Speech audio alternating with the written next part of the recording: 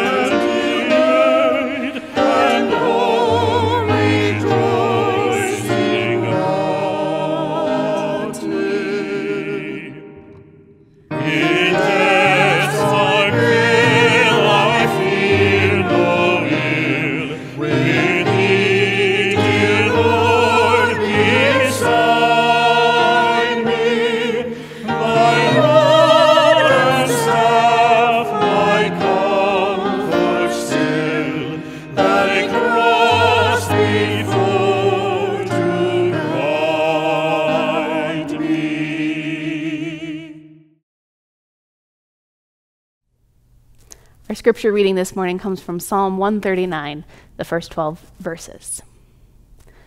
O Lord, you have searched me and known me. You know when I sit down and when I rise up. You discern my thoughts from far away. You search out my path and my lying down and are acquainted with all my ways. Even before a word is on my tongue, O Lord, you know it completely.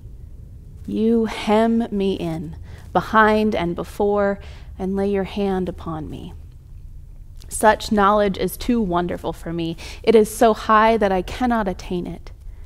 Where can I go from your spirit, or where can I flee from your presence? If I ascend to heaven, you are there. If I make my bed in Sheol, you are there.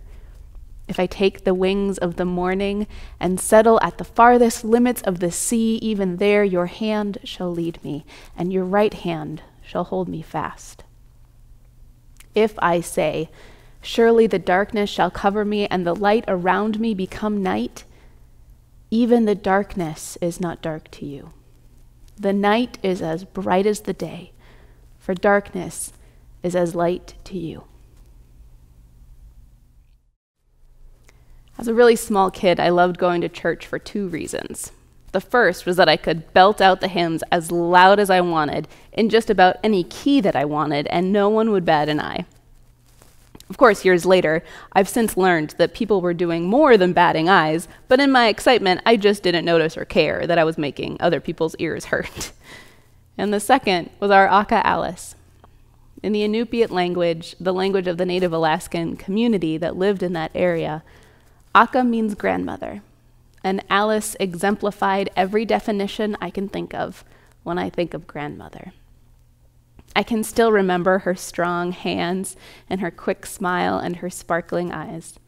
Her hands were quick, even in her old age, and I remember that specifically because her hands were always quick to dip into her pockets and reappear with a small tube of sixlets, a candy coated chocolate ball candy. To this day, sixlets always remind me of Aka Alice. She would beckon us into her pew, and we would cuddle up next to her, and we would crunch through our sixlets while listening to the sermon. She was a tiny woman, but somehow my siblings and I all fit on her lap or under her arms, and we would sway together to the same hymns we would sing every Sunday. Aka Alice was sweetness personified. And she was also the first person I knew to die. Her funeral was on a cold, windy day, but living in Nome, Alaska, that was basically every day of the year, so I couldn't even tell you what season it was. But it was my first funeral, and I remember thinking, staring down at her body in the casket, that this wasn't my Akka, because this body was gray and cold, and Akka was bright and warm. Trying to explain death to a young kid, my parents said that her light had left her body and that was why she was so gray. And that her warmth was with God now, and that was why she was so cold. I thought, how selfish of God to take her warmth and light. Now, I thought of our Akka this morning. On this All Saints' Day, things feel very different.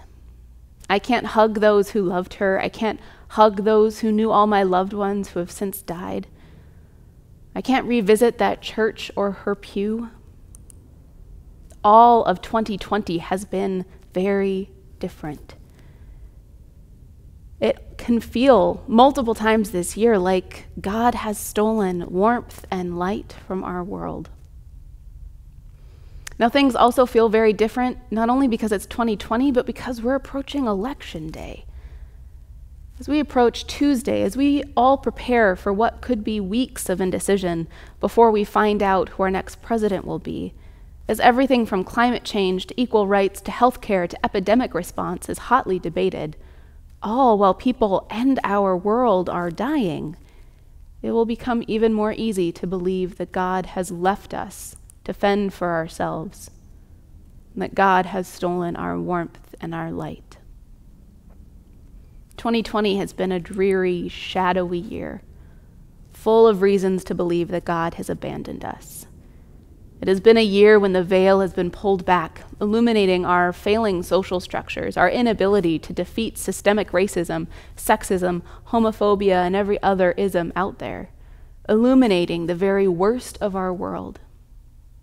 And, as is often the case when the worst comes to light, many of us are yearning for the times when we felt warm and bright and like the world was at ease.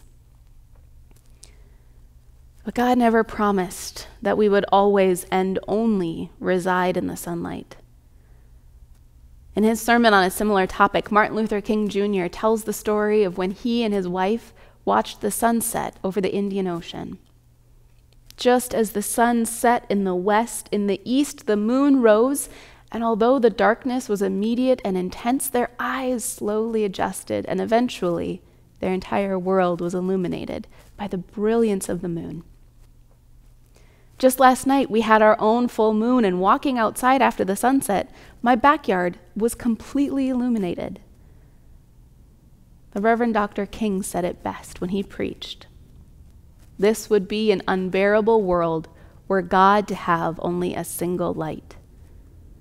But we may be consoled that God has two lights a light to guide us in the brightness of the day when hopes are fulfilled and circumstances are favorable, and a light to guide us in the darkness of the midnight when we are thwarted and the slumbering giants of gloom and hopelessness rise in our souls.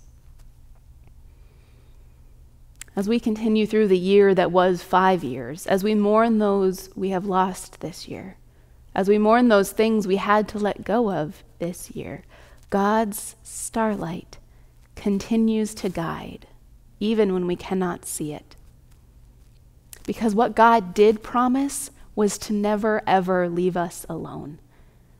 We may be tempted to believe that God has left the building, but how could you ever simply leave someone who you so desperately love? God hasn't abandoned us, but nor is God willing to just vanquish evil immediately and be done with it. I know that's hard to hear and it's hard to say, and the mystery of why that is is a mystery that will continue to baffle the human race as long as we exist.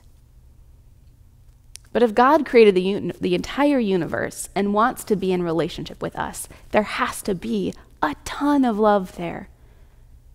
The Reverend Dr. King also preached Perhaps if God dealt with evil in the overbearing way that we wish, God would defeat his ultimate, ultimate purpose.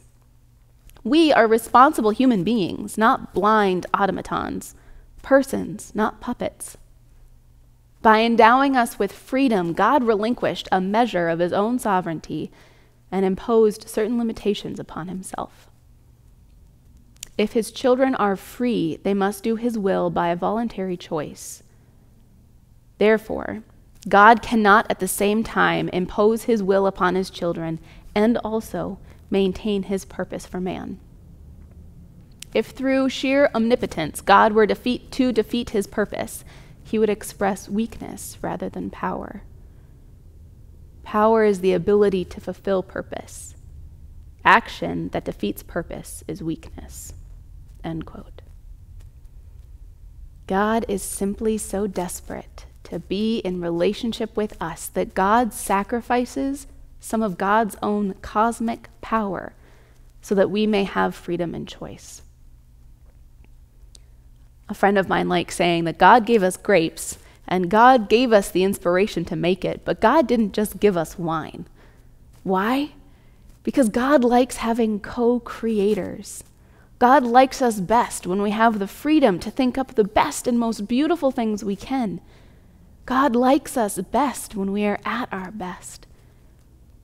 But God loves us so much that even when we are at our absolute worst. God doesn't just clean up our messes for us.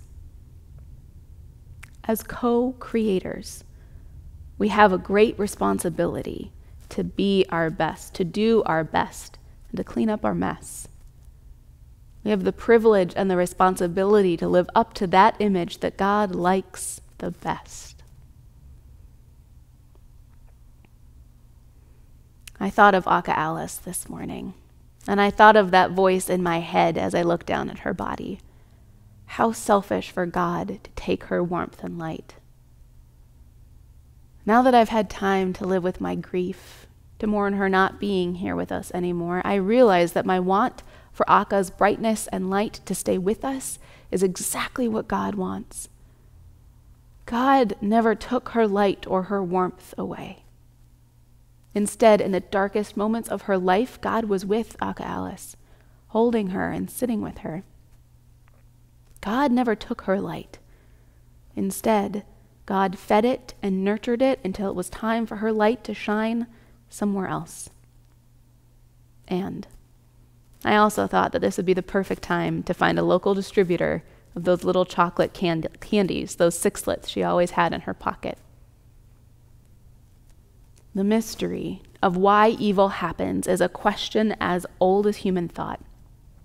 Bad things happen to good people. Good people do bad things to others. There's a lot we have responsibility for, but there's an awful lot that is totally out of our control. Those two shift and change every minute. And we hope and we pray that if we're not in control, at least someone is. And we hope that the one in charge is God, but we can't know that. Just like the psalmist says, we cannot fully comprehend all that God is. So much so that we rush towards control like that will save us, rather than trusting in the mystery and the grace and the love that already has. I think when we rush to figure out who's in control, we miss the point. We only ever rush to figure out who's in charge when we feel like we're in the dark and can't see where we're going. And in our panic, we miss that we can only we miss that which we can only see in the dark. We miss starlight. It is in the darkness of the soil, the darkness of the tomb. It is in darkness that God works miracles. May your life today and always be blessed by darkness and by starlight. Amen.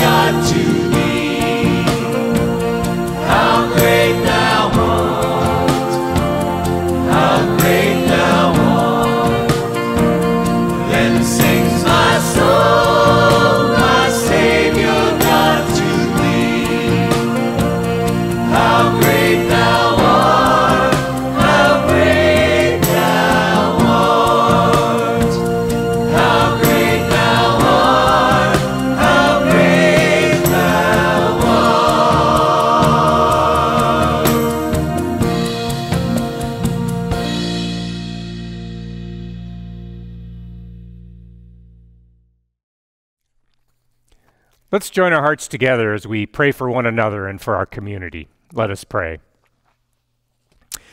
Oh God, we thank you for the opportunity to come together in, in whatever way we can uh, to be involved in worship. Uh, we thank you, God, for the leaders of grace uh, and all that they've put into making these worship services happen. And God, we thank you for being in our lives to, to save us when we end up in trouble, to, to walk with us uh, through those dark times of life.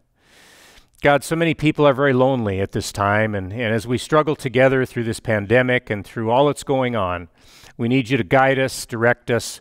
We need you to give us your grace and your strength for each day.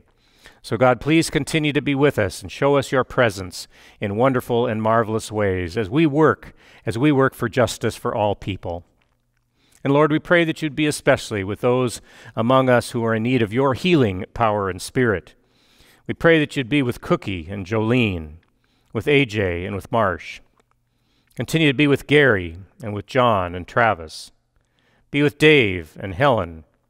Be with Luther and Jamel. With Darlene and Rachel. With Christine and Steve. Be with Dave and Ken and Anne and Janine. And continue to bless Brian and Cheryl. Lord Jesus, we also pray for the extended family and friends of our congregation. There are many of them, Lord, with a variety of needs. And we know that you know their needs, you know their hearts. And we pray that you'd surround them, O God, with your loving grace and your healing care each day. For our homebound, Lord, we know that many of our homebound uh, are, are very lonely. And so we pray that your comfort and strength would be with them. Be with Marvia, be with Orly and Levon, with Betty, with Lucille, with Bob, with Jean, with Wes, with Nancy, and Jamel. Lord Jesus, we lift them to you for your gracious care. Heavenly Father, we do thank you for all the ways that you have challenged our congregation to reach out into the world. And so we thank you for these wonderful ministries that we have been privileged to be a part of. We pray for the orphanage in Mexico and all the children, and there's those who work with them.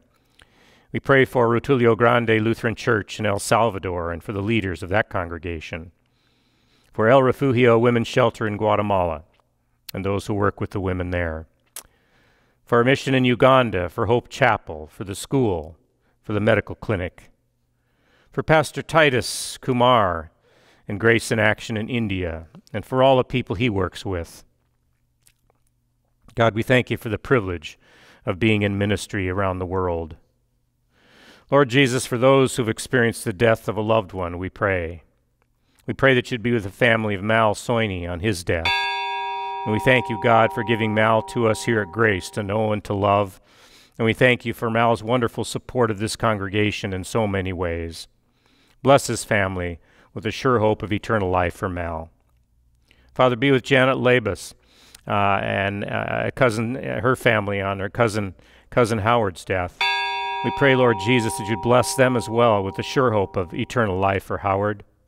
Comfort and strengthen them each day. Lord Jesus, for those who are first responders and who are working on the front lines and doing whatever they can, wherever the need is, we especially remember our firefighters and those impacted by the wildfires continuing in California and throughout the country. Father, we pray for school officials, teachers, staff, parents, all those who are working through our educational system and trying to figure it out one day at a time. Bless our students, Lord, especially, and sustain them. Keep them in your care.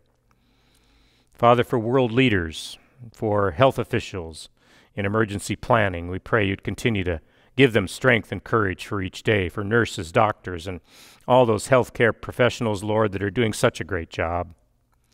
We pray for Word of Truth Bible Church, our sisters and brothers uh, who worship here. Bless and sustain them and keep them safe.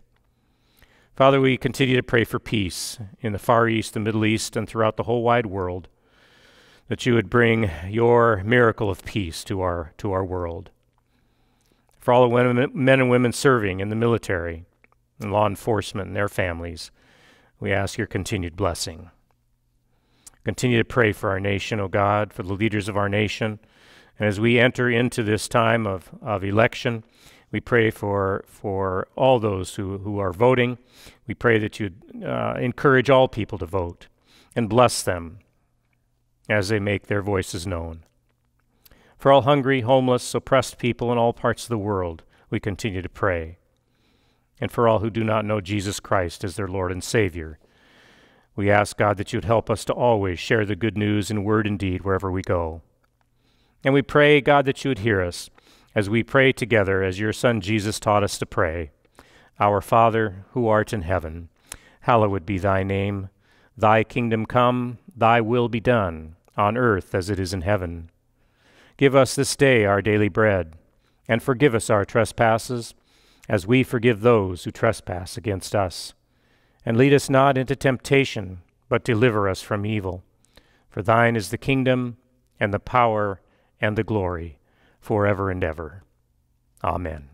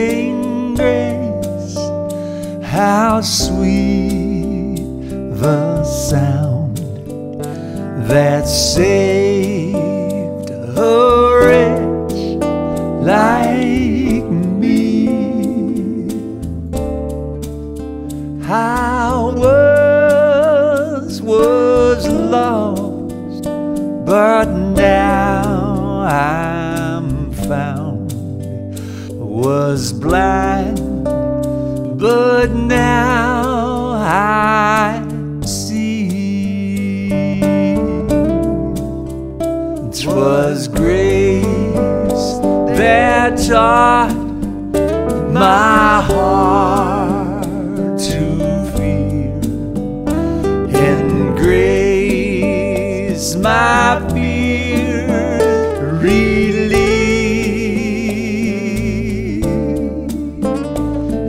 How precious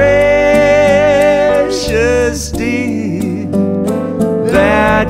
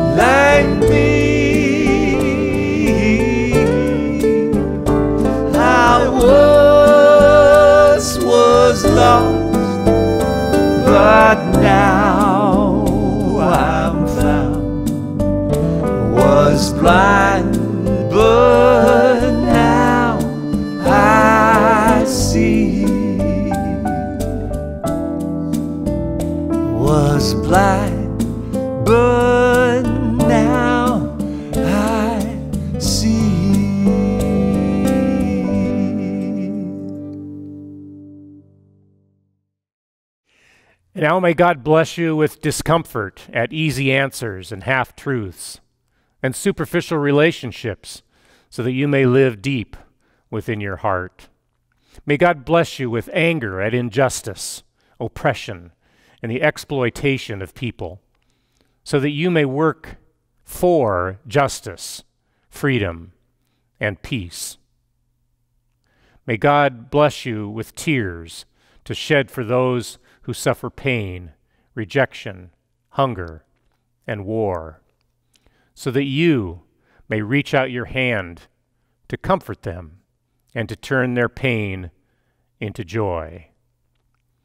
And may God bless you with enough foolishness to believe that you actually can make a difference in this world, so that you can do what others claim cannot be done to bring justice and kindness to our children and the poor.